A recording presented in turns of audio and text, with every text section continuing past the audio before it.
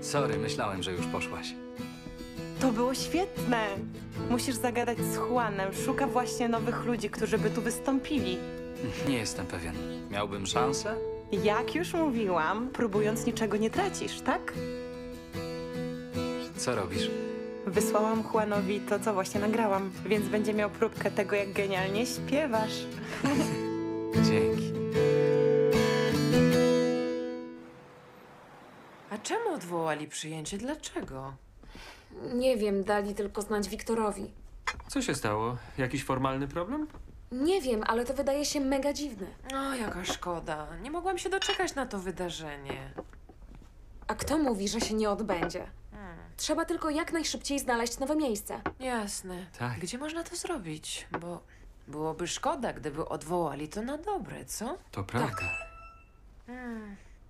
Hej, to Wiktor. Oby miał dobre wieści. Bia, wiem czemu odwołano przyjęcie. Przez moją mamę. Moja rodzina znowu wszystko zepsuła. To się w życiu nie zmieni. No nie. No nie, znowu Paula? Ja chyba śnię. Czy ta rodzina już nigdy nie odpuści?